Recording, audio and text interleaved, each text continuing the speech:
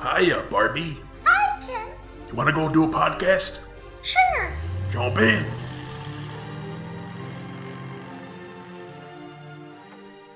Ladies and gentlemen, Barbies and Kens, Chelseas of all ages, and everyone else, welcome to Binging Barbie, a Barbie movie podcast. I'm your host, John, and with me I have my wonderful co host. Did you really think I wouldn't figure it out, Agent J? Only I could do the evil laugh. yeah, that's true. I, I don't think the character in the movie had an evil laugh, so Um, he did. he Or maybe he smiled a lot. I don't know. Yeah. One of those two. Anyway, for those of you just joining us, we are a podcast about Barbie movies. Every week we watch one of the straight to DVD animated Barbie movies and we rate its story, characters, animation, voice acting, and music to see how it stacks up. This week we'll be talking about the 32nd animated Barbie movie, Barbie Spy Squad. Yeah. Accurate title, I would say. Spy Squad. There are spies. It's more of a squad. Yeah. The the the spy is maybe it's more of secret agent squad. Sure. Yeah. Yeah. Yeah, th- this was released February 8th, 2016. So hmm I, I don't know. Was this kind of. It was during There- the height of the Cold was- War. Yeah, no, I, I'm thinking because there were some. Because this was around the time the year previous we had like one of the Mission Impossible movies, a James Bond movie. So so spies are kind of in. Yeah, yeah. I mean, spies were more in in the 2000s, specifically in cartoons. Um, that was really where they saturated the market. Here, they were just, I don't know. I mean, they get the had a, a slight comeback because you also had the Jason you Bourne did, sequel you this did. year. Yeah, you did. So yeah, it, it kind of makes sense that they would go here as much sense as any of these Barbie movies make. But yeah, th this was directed by Conrad Helten, who's done a lot of these Barbie movies prior to Mhm. this. Um, Mhm. Written by Marsha Griffin, who did um, Princess Power and Rockin' Royals, and then Kacey Arnold. This is her first of several Barbie movies.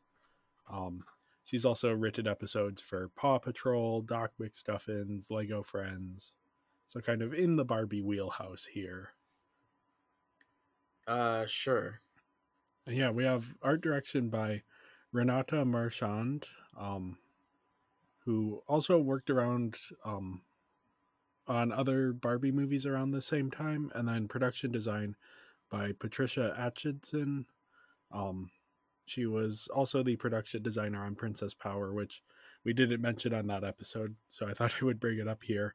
Okay. Um, and also, she did the um, production design for the recent animated Addams Family movies Hmm. which I, I wasn't able to find much of her concept art, but the stuff that I did find was very good for the Addams Family movies. And yeah, we have music by Gabriel Mann and Rebecca Newell. So again, other people we've we're familiar with at this point. Yeah, the story follows Barbie, Renee, and Teresa. They're gymnasts, like teenage gymnasts preparing for a big competition. Mm-hmm. And after a meet one day, Renee's Aunt Zoe, who's like old cat lady who knits, invites the three of them to a picnic by the Hollywood sign. Not uh, really legal, but yeah. Okay. yeah, and when, when they arrive, a secret door in the Hollywood sign opens and reveals an elevator that takes them down to the headquarters of a secret agency. this is like the first five minutes of the film, Yes. and we're, we're thrown into the spy world. yes, very, very like. I, I feel like I've seen this many times before. It's oh yeah, we have. like it, it's men in black it's um cats yeah. versus dogs it is, yeah.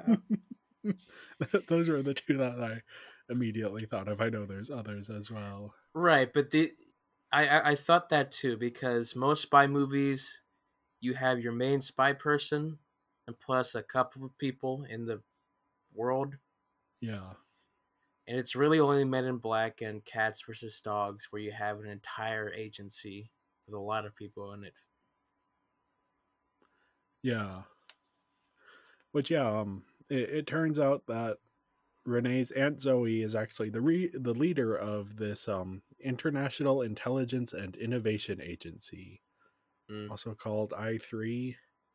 Um and she has decided to recruit these girls. For what reason we never really find a good one, but Uh, It's because they're good gymnasts. yes. Which yeah, we'll, we'll get into that part. Um but yeah, Zoe tells them that there's this thief who's been stealing gemstones that um power up this MP device, EMP device. Um yeah, the Chaos Emeralds. eh, basically or the Infinity Stones. Yeah. Or the And- Dragon Balls. One of them. yeah, they're, they're magical shiny MacGuffins. Mhm. Um, so the girls train for like a day under Agent Dunbar and meet with the gadgets inventor Laszlo. Laszlo. Yeah, La- Laszlo. Laszlo. Well, we'll get into Laszlo as well. Uh, Mhm. I'm curious to hear your thoughts on Laszlo. Okay. Um, but on their first mission, they almost catch this thief, but the thief ends up escaping. Um, second mission, same thing happens. And after that, the girls are sent home, which, you know, yeah, they failed their first two missions, so kind of makes sense. Um, but Laszlo lets them keep their gear for one extra day. And then while they're at gymnastics practice, Barbie realizes that the thief is actually Patricia, who's one of their fellow gymnastics competitors. Who would have guessed? Me immediately upon seeing Patricia. Yeah, me too. no, I saw her. It's like, hmm. Here's a guess. She's gonna be that cat girl that we oh, saw. Oh yeah. And then she was. It's like, oh, okay. yep. So so they chase her back, and she actually goes to I three headquarters, and sneaks in to see her give the jebs to Agent Dunbar. Again, immediately when that character was introduced, I'm like, okay, I know exactly where they're going with this. Honestly, I just shrugged that character off. So Okay. I didn't see the reveal, but I was also just disappointed. I was like, oh, really? Okay. I just Yeah. thought that he was going to be one of those angry people that trains but has a soft interior that I don't really care about. But no, he's the villain, which Yep. is less interesting. Yeah, and he he's mad that Zoe got the promotion to be head of the agency instead of him. So Mm, he has this plan to disable all of the servers and blame it on Zoe. And he actually invites Patricia to join his side, um, but Patricia declines since I think she says like world domination isn't really my thing. Um, she was just doing it for the money. and she's a cat girl. Yep. I mean, she's very blatantly Catwoman. Yeah. Oh, yeah. but yeah, Bar- Barbie and the others are able to escape, and they reprogram some of some of Dunbar's bots with the help of Laszlo. And Barbie goes to confront Dunbar, um, and things are looking pretty bad for her. But then Patricia shows up, and she's had a change of heart. Off screen, Yes. she decided working with the team might be nice. This was never an idea expressed in the, The rest on- of the movie. The only thing that suggests this turn is when Dunbar suggests world domination. That's it. Yeah. I mean, he does have that line of like, "You're either on my side or their side," but the her response is, "No, I'm on my side." but then no, she Uh-huh. comes back. She pulls a Han Solo, hmm shows up right as the right at the last moment, and um, Dunbar activates this device, but Barbie is able to remove one of the gems before it causes any damage, and Dunbar is apprehended by the robots. And then sometime later, Barbie and Renee and Teresa are competing in the big gymnastics tournament. And thanks to all of the confidence she gained as a secret agent, Barbie is able to land the complex move that she missed in practice before. You know, when we break down the plot to this very simple structure, it sounds like a better movie. What we got is 90% of them training or talking about them wanting to be a spy, and 10% actually doing spy stuff. Yeah, that, that's fair. I, I I didn't mind it too much. I, I liked elements of this. But yeah, it's, it's a very standard spy movie plot. Very standard, yes. But again, most of, most of the time it's just them training, not really doing anything. uh, yeah, we have all this cool looking spy stuff to look at, but we're just looking at it. We're not doing anything anything with it. Yeah, lot, lots of toy opportunities with the different spy gadgets. Lots of time wasting. Let's just go on missions. Yeah. I mean, it, it is, to be fair, unlike anything we've really seen from any of the Barbie movies. No, but I, I'm no I'm gonna be noticing a trend here. Uh, I talked about in the Princess Power movie how Yeah. the superhero genre is like one of those things that every cartoon will do at some point. It's the same with the spy genre. Yep. Every cartoon will either have a spy episode or some shows are specifically for spies, like Kim Possible and Codename Kid Next Door. And coming up, we're getting uh Starlight Adventure, which is a space adventure apparently Yeah. and that's another thing. So it seems like they're now going into the the the booklet of cartoon episode 101. What ideas can you do? Which Yeah. genres do we want? We're getting into that now. And we, even with um Puppy Adventure, even though we both kind of like that one, that was like the treasure hunting one. slash pet episode, yeah. yeah so yeah th- this is i mean like you're saying it's like they're not only are they looking at these other shows for like what what ideas do we do next they're also like borrowing the plot structures It's also just not very interesting. Yeah i, I like feel they like don't there's a way do much with Barbie being a spy. Yeah. And, and I think part of that is just like they don't want to have too much of Barbie beating people up. But even like the dress up stuff, there's very little of that. Like you could have Barbie Hitman where she's infiltrating a place by dressing as different people. Or just do what James Bond does and just go in disguise and just listen and sneak and get intel. Nope, we're just catching a thief here. To, to be fair, James She's Bond, a cop, not a spy. yeah, I, I was almost thinking like a Batman type superhero. yeah, but we already had that movie.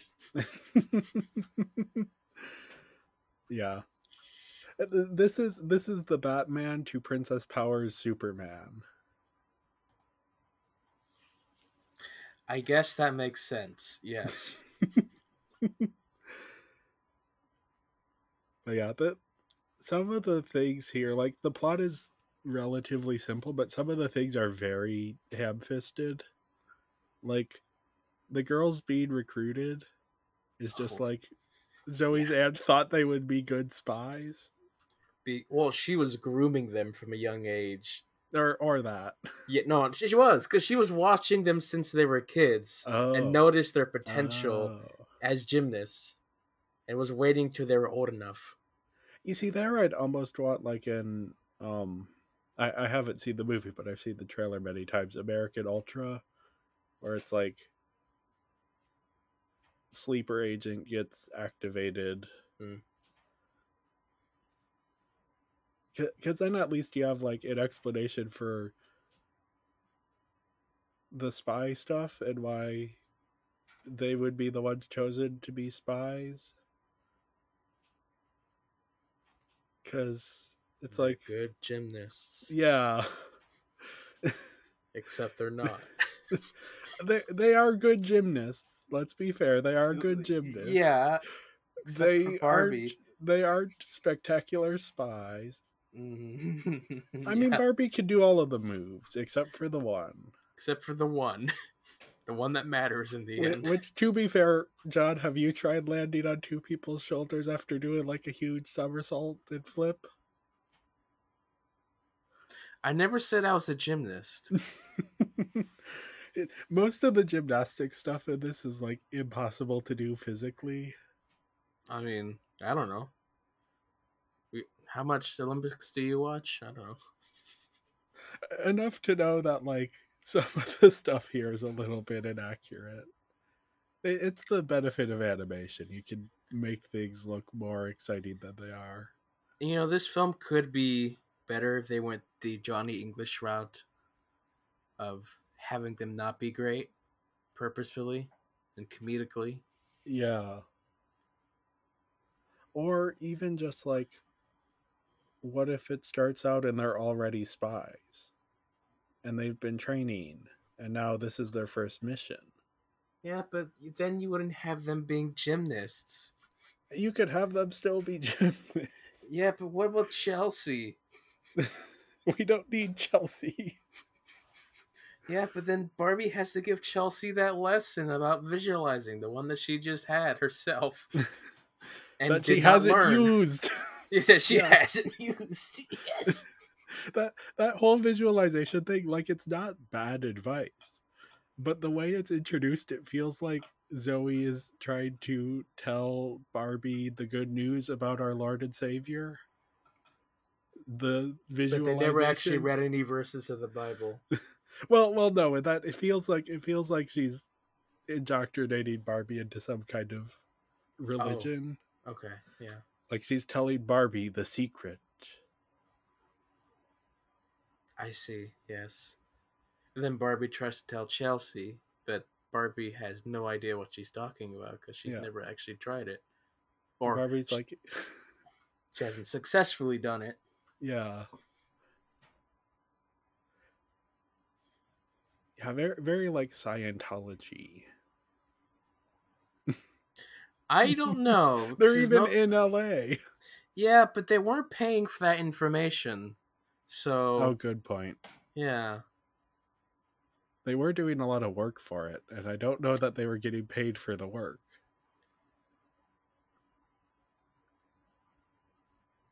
Well, they got to bump up Patricia off the competition, so I guess that Oh, helped. okay.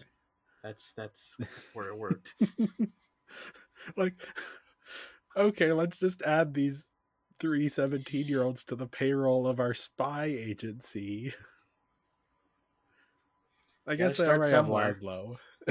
they they got interns, you know. Oh, I'm just here for the experience. It's the Disney College program. Come work at Disney World. Come work for the spy agency. Yeah. 17 year old gymnast. We'll put you out in the field after one day of training. Yep. Here, have a lightsaber. yes. Barbie gets a lightsaber. That's in my notes. Barbie finally has her own lightsaber. I mean, It's it's even before the the sci-fi one. it's more of a Goku extend extender pole or something. I don't know. Yeah. But but it lights up. Yes, it does. It's pretty cool. Yes. It's ridiculous, but it's pretty cool. the gliss.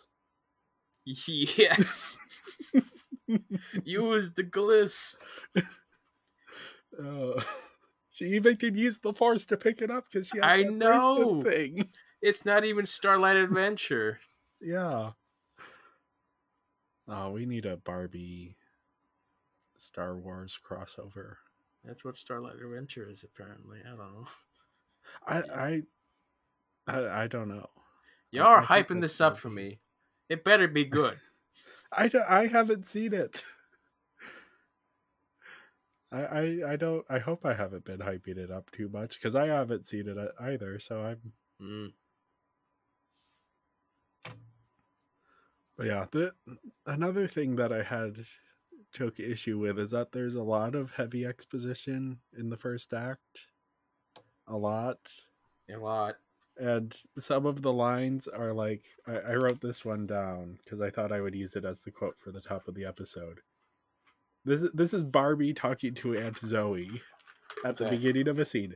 You're the head of a secret agency, and you want us to be secret agents. That that is how the scene starts. You know, It that's is not. It is not Zoe going, "Hey, I am the head of a secret agency, and I want you to be secret agents." It starts with Barbie asking that question, as if that will hide the fact that it is exposition. You know, that sounds like a hook I'd put to the beginning of an essay. In this essay, I will argue that Barbie Spy Squad is inspired by cats versus dogs. the musical. Oh, there's a musical. Well, Cats, the musical. We're Oh, waiting for the dog Cats part. the musical. And then we'll get the Cats versus Dog. Uh, trilogy cap. The railway cat. And then the Kitty Galore DLC. Oh boy. we're we're off track here. Th- We this are movie, so off track. This movie references a lot of spy media. Like I I caught the Men in Black stuff slash Cats versus Dogs, Mhm. the Mission Impossible stuff, the, with the Mhm. soundtrack especially. Oh, yeah. Um, bit of Bond. Lots of the gadgets are very Bondy. Oh, yeah. If Bond was wore lipstick or carried lipstick in his pocket, I guess. There's even some like weird. I don't know if this was intentional, but like some Ghost in the Shell connections with like their invisible suits.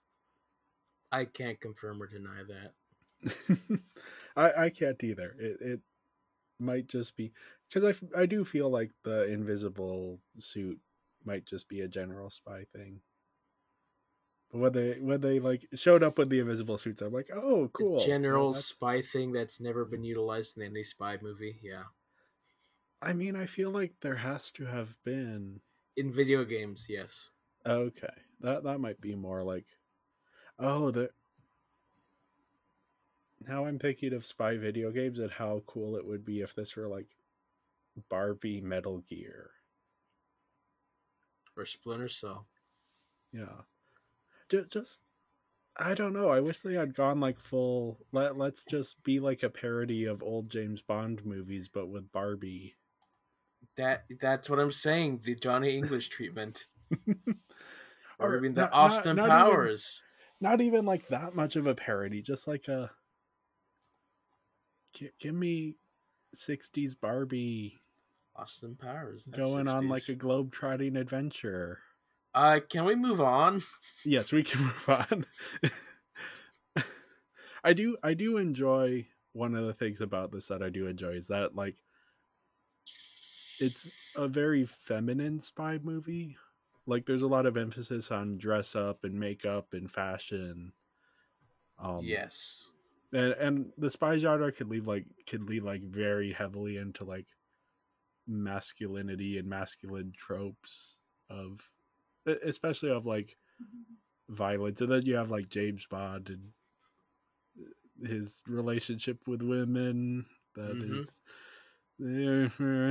Questionable. Yeah. yeah especially in earlier movies Oh yeah. but yeah it's just like it's a nice thing to add to the spy genre it isn't unique to this barbie movie but it is kind of interesting to see hmm and there, there was even something i was thinking of of like when they're going through all of their accessories and it's like oh yeah no that makes totally sense if you have like someone who's carrying a purse can carry a lot more gadgets than bond james bond with his tux. And that's about it. And his tiny pistol. yep and his martini shaken not stirred. Vodka martini. is it Anyway, I gave the story a three out of five. Um, it was very simple, yeah not I- terrible, but just uh, underutilized. Yeah, I, I also gave it a three out of five. I, I think there are ways you could plus this, but it isn't a bad story either. Like I was never bored. I mean, I was Okay. just because all they do, were doing was training and nothing else. you see, you see, I like the the scenes where they're like, Laszlo is showing them all the gadgets. I'm also look- paying attention to the clock when I get bored. And Okay. when that happens, I, I make note of like, okay, we're this far in. We should be doing something more than just what we're doing for the past 30 minutes. that that's fair. So yeah, on, on to the characters. We have Barbie, who, as we already mentioned, she gets her own lightsaber. Yeah. This is gets a big moment. lightsaber. She's Um, a gymnast. Her arc is she's like struggling to find confidence. It's it's not a bad arc. It feels pretty standard in the way it's executed. Mm-hmm. Um uh, yeah, the the visualization thing is good advice, but I do feel like the way it's introduced is a little bit odd. Mm-hmm. and yeah um ne- next up we have teresa and renee who i've combined into one because as always with these characters these characters are in every barbie movie now and they're Yeah, always they are. the same characters Mm-hmm. um they're they're the sidekicks we've seen before like teresa gets a little bit more she has a mini arc about overcoming her fears and then a flirtationship with laszlo Yeah, the she gets her own Ken. yes It's been a while since we had a proper Ken. Yeah. We we need these movies need more Ken. Like Ken Ken, not fake Ken. Yeah. Like like fashion fairy tale Ken. I know, yeah. Or fairy secret Ken. Him too. They're the same Ken, but Yeah, ne- next up we have Zoe. Um I I love that her disguise is a cat lady who knits. Like talk about the person you least assume to be the head of a spy agency. An old lady who knits. Yep. and kn- knits sweaters with cats on them specifically. Cats, yes.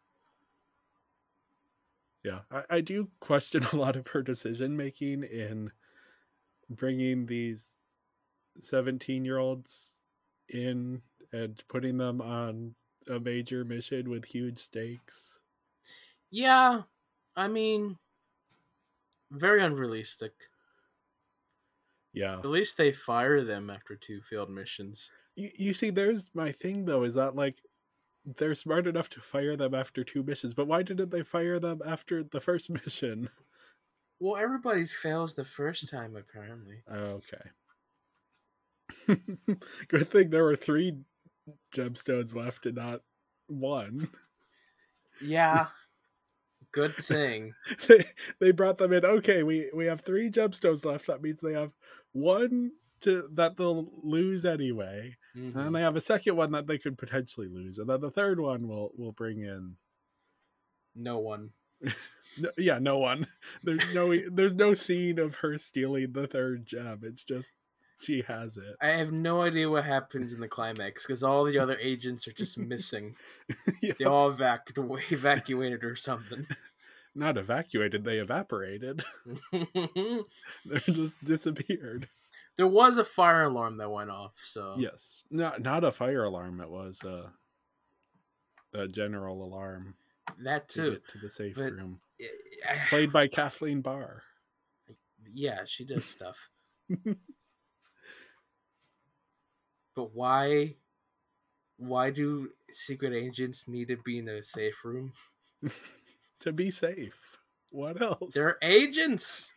They're spies. There's nothing safe listen- about it. Listen, John, this this secret agency is apparently so incompetent that three high school gymnasts are the best shot they've got. They'd never survive the Cold War. yeah, Neither would we, but I don't know. yeah. We we would probably survive the Cold War since there wasn't much war going on. But I mean, as spies, Oh, as spies, yeah, no. Ne- next up, we have the wonderful, the incomparable Laszlo. the nice guy. Yeah, he's just a sweetheart. He's so awkward, it's adorable. He is the Ken, but not he Ken. is, yeah, yeah. He is very reminiscent of Ken, specifically like the fashion fairy tale, fairy secret era. Yeah. Just yeah, he's he's Laszlo. Laszlo. That, that's such a, a name. E- Every time, every time they say it, I think of uh, the Dark Shadows TV show where Uh, no, you mean uh, what we do in the shadows? oh, what we do in the shadows. That is what I mean. Yes, John, keeping me honest here.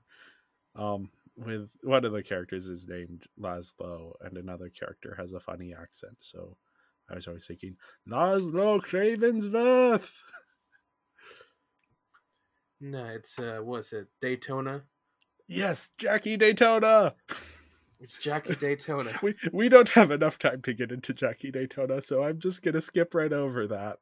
Um, I, I like how Laszlo is like really cognizant of like the need to be fashionable. Like all of the stuff he designs is just like stylish outfits and like makeup gadgets, and then Mhm. anti-helmet hair helmets okay. that are like, yeah, of course that would be a thing Barbie would be worried about that James Bond doesn't care about. James Bond gets helmet hair, okay, but Barbie, you need to you need to be cognizant of that. I guess. Yeah. Though uh, to be fair, I don't know if James Bond ever gets helmet hair either. Does James Bond wear helmets? Rarely. I, feel like that's not a James Bond thing to do. Probably Well- because he's worried about getting helmet hair.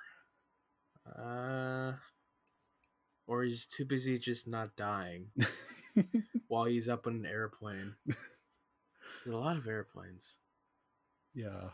Anyway, we got Percy, who's is he's a dog? A robot dog Yeah, a robot that dog. talks Yeah, in a British accent. He yeah. has, he has a fine arc, but it's missing a few steps. He He goes an from arc. like well, because he when he's first introduced, he's like work, work, work, work, work, and then over the course of the movie, it's like, oh no, he's not all work. He's like like he's he likes his squad now. But the an arc. transition between one of those and the other happens over the course of like half a scene in the Uh-huh. background. Uh huh. So yeah, he his design though. He's like that. What was it? That iPod dog thing that you'd play music through Basically, from the from the early two thousands. The iDog.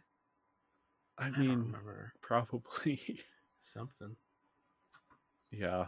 Percy was a no for me. Yeah, no, he was there. Every time Yeah. the robot animals showed up, I was like, "Oh yeah, them." Oh. Patricia Patricia. is. I, I thought she was fun when she was first introduced. Uh huh. In the way that like Catwoman is fun when she's being a cat burglar and she had some good like lines and like comebacks and things. She's a taunter, you know. Yeah. Her arc though is like the fact that she so quickly changes her mind off screen. It's. I think it's just more so. It's like, man, this guy wants to take over the world. Ah, I don't like that. I guess I'll take him down. Yeah. Eh, I I know why they can't go out and say it like that, but it would have been nice if they could have. Oh yeah, that's what they saw it like that. I guess. Well, but but they make it seem like she's like fully now on Barbie's side. by the end, yes. Yeah. I, I don't know. I, I I could have used with a more interesting. You see that that's part of the issue is that like good spy movies tend to have like somewhat ambiguous morality Mm-hmm. And you can't have that in a Barbie movie. Also, a lot of her scenes were rushed because most of the film was again Barbie training. Yeah. Yeah, th- this is a character that might have been benefited from more time. I do like that last scene though of her encouraging Barbie at the competition. I thought that was a nice moment. Mm-hmm. Yeah, and then last up we have the villain of the movie, Agent Dunbar. yep. he he's the standard villain for this kind of movie. Such a boring villain. yeah, he doesn't he doesn't even have like the Princess Power villains like campiness. I didn't even just- want him to be the villain. It was just just let him be that stern trainer guy that doesn't care that we'll we'll never see again after the training sequence. Yeah. Nope, they just make him the villain. It's like ah, but you had you had Patricia, the cat girl, the actual fun part. What if she had a mission and she was Yeah. using the crystals to get into something for something even bigger? But no, you got Dung Bar. Ooh, you got him. Sick Thank you. burn. I just thought of that. yeah, I, I gave the characters a three out of five. Yeah, me too. It might be a bit harsh, but again, not much is really done with them. I, I'm feeling like I'm being a bit too nice with a three out of five. I, I, I mean, it's better than Princess Power, ish. Not really. yeah. I might I might be dropping mine to a two point five out of five. Oh boy, I'm keeping mine where it is. That, that's fair. Now, what I do like somewhat is the animation. Hmm. Um, I love the night scenes where it's like all of the neon and they're riding their motorcycles. That's cool. And the action does look pretty good. It, it yeah. It's it's an improvement from like Three Musketeers, which was a, a long time ago, but that one like the cartwheel flips. flips and all of it it was mm-hmm. like they didn't quite sell it but here you just you don't even think about it it's just like they pull it off Yeah, she pulls out a lightsaber, does a pole vault with it. yeah It's pretty neat. yep all of the flips and the tricks and the You buy it because they're gymnasts, unlike Yeah. a farm girl yeah doing farm stuff and doing cartwheels, and only cartwheels.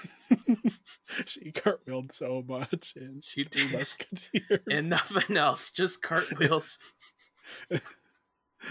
yeah here it's just like it, it feels fun to watch the action mm-hmm. scenes um the character models are pretty good this is like Well, a bit of a mix between the rainmaker and arc production styles pretty good, yeah. So, uh, here, here, here's what it is. So, I, I have, I'm not gonna say the score yet, but my score for the last few are exactly the same.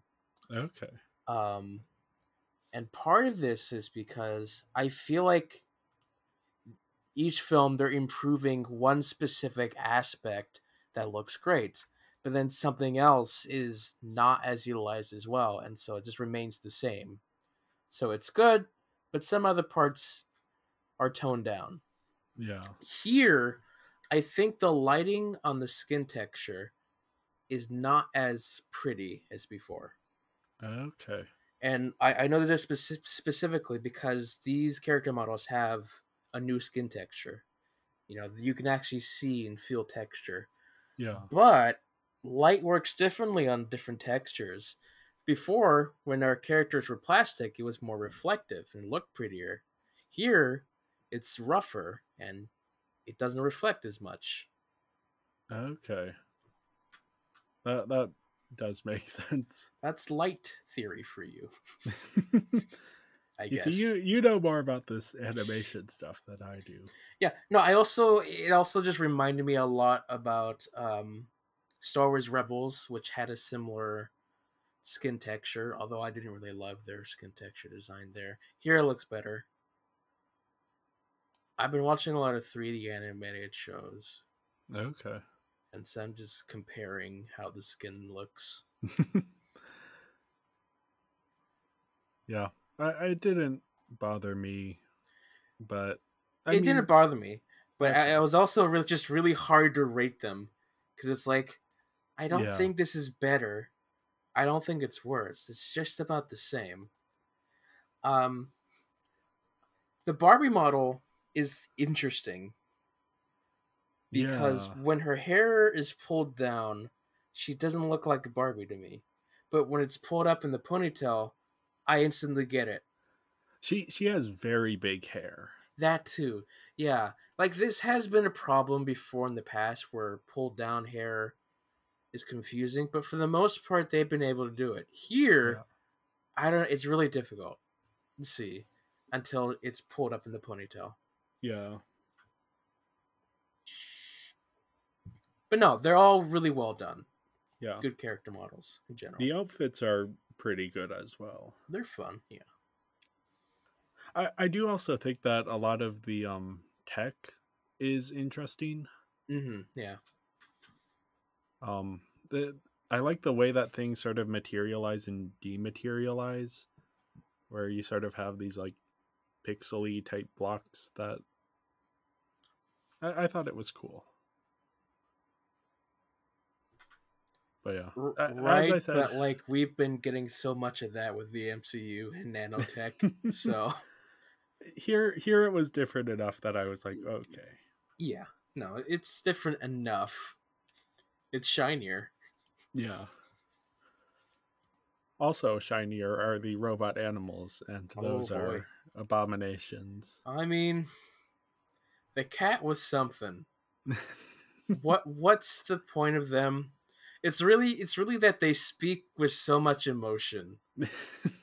That's just confusing me. yeah, they they need more of a Megan vibe. Yeah. Megan. So yeah, I gave the animation a four out of five. And I give it a 3.8, which is what I've been giving it recently. they need they need that final push of both everything, of everything. yeah. They need that push. so next up, we have the voice acting, and Erica Oh. Lindbeck is playing Oh, Barbie. boy. Yeah. I, I thought she did a mostly solid job. I noticed something about this performance. Yeah. So, with Diana Kaarina, she was the other actress before. Yeah. What I've noticed is that when they had Diana Kaarina replace Kelly, Diane was trying hard to sound like Kelly, but not quite matching. Here, Erica is doing whatever the heck she wants. She's not trying to sound like Kelly. She's trying to do her own performance. Yeah. And her performances, the emotion that she portrays in this film, really work. They're great. But she doesn't sound like Barbie. Okay. I I thought she sounded like a different Barbie than Kelly Sheridan, but still Barbie. I didn't quite get that. Uh, and for me, it's also because I, I also know Erica from other stuff that I've seen her, and her voice is in like more of a lower register than typically where I associate Barbie to be with. Yeah. She's also a little bit. She's also a bit rougher in the way she speaks. Yeah. I, I did notice some of that. Um I honestly it didn't bother me all that much. I think the the thing that did stick out to me is um she has some pretty heavy-handed ex- exposition that she oversells a bit. hmm Um, but no, she did a. She gave a really good performance, but like I said, I didn't quite hear the Barbie voice, Okay.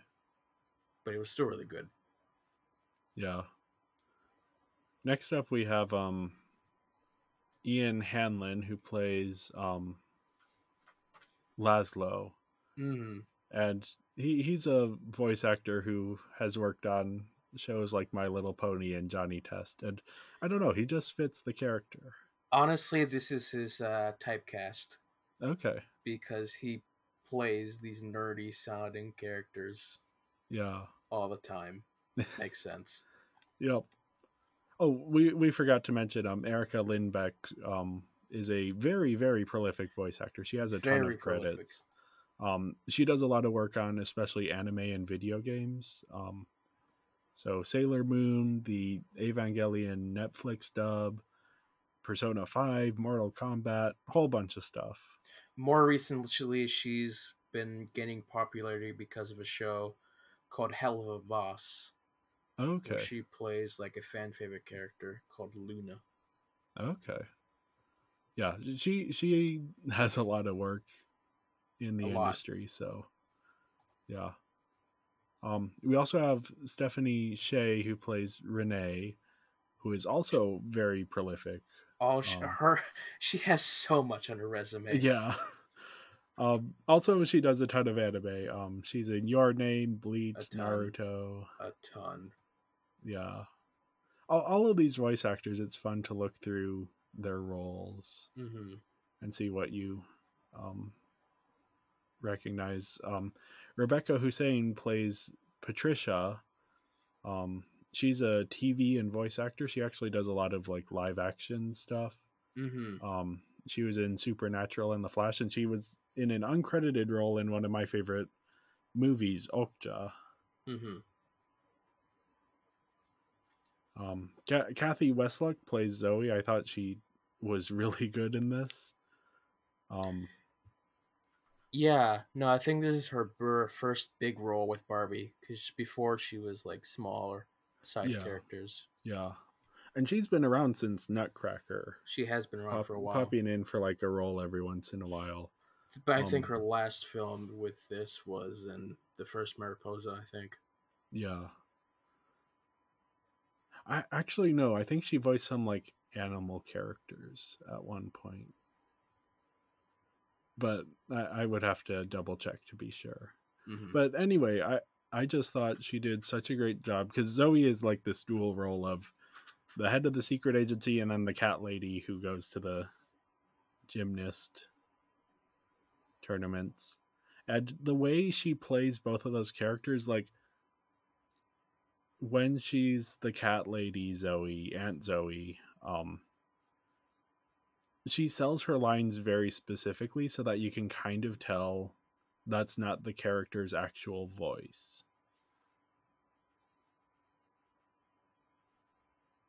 So yeah, I, I thought that was a nice touch. Yeah, no, it's always great to have Kathy. Yeah. So yeah, I, I gave the voice acting actually a four out of five. Yeah, I gave it a three point five, which is our standard solidness for me. Yeah. And yeah, last up we have the music. Music, yeah, It's a bit of a mixed bag for me. Um it's very reminiscent of Mission Impossible, both in good and bad ways. mm-hmm. Um where where the last score felt like it was inspired by John Williams and Goonies and Indiana Jones. This one feels more like it's generic spy. yeah, it's more directly yeah. It it doesn't have the same sort of added oomph to it. Mm-hmm. Um th- there are certain scenes though where the music is very good. There are, and that's tip mainly when they're doing their spy stuff. But Yeah. other stuff, The the training scenes are when it's the worst. yeah. Uh, and also the original stuff, I don't think worked that well as well. Yeah. The original song is so so. Yeah, So yeah, So, I, I gave so. the music a three point five out of five. and I give it a three point three out of five.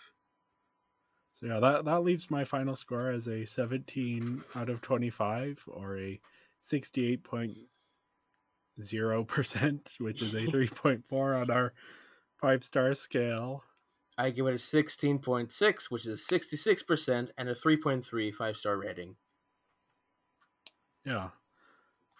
we're we're again not doing um rankings in these episodes anymore. We're not going to tell you where this falls because we're getting ready for our big rankings episode hmm um, where you can look forward to seeing where this lands in our overall rankings. Yeah. Anyway, thank you everyone for listening. Make sure to follow us on social media. We're Binging Barbie Podcast on Instagram, at Binging Barbie on Twitter, and Binging Barbie at Barbie Movie Podcast on Letterboxd. We'll be back next week to talk about Barbie's first sci-fi movie, Barbie's Starlight Adventure. I, I'm excited for this one. Ah, we'll see. yeah, this is I, I'm hopeful, which maybe I shouldn't be, but th- this is one I've been looking forward to this entire series. Hopefully, there's some fun references to talk about. Yeah. Well, yeah, we'll see you all then. Bye.